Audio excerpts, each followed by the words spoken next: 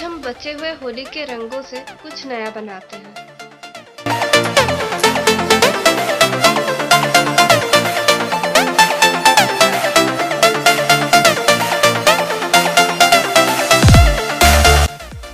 अब हम पीला और नीला को मिक्स करके कितना सुंदर हरा रंग बना रहे हैं।